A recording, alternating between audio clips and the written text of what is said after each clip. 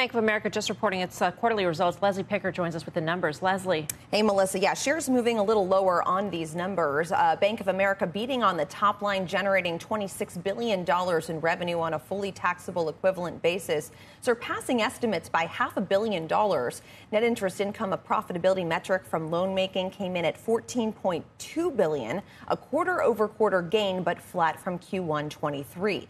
Higher for longer rates could help bolster NII further this year. Hopefully, we'll get more color uh, and guidance on the conference call, but it also creates a drag on the balance sheet with the bank's unrealized losses back above $100 billion in the quarter at $109 billion.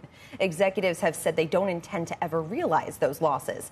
Net charge offs, that's debt unlikely to be recovered by the bank, came in slightly higher than expected at $1.5 billion, driven by credit cards as well as a little bit of commercial real estate. Investment banking a bright spot in the quarter here, up a whopping 35% year over year to $1.6 billion in revenue.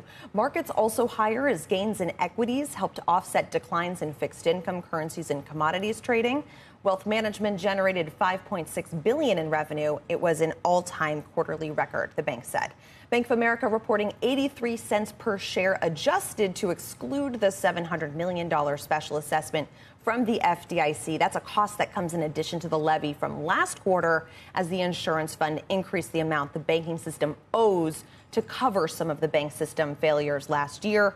We're not yet comparing those to analyst estimates, guys, because of one time items. Some analysts include, some don't include. So we're just telling you the number uh, so you have it.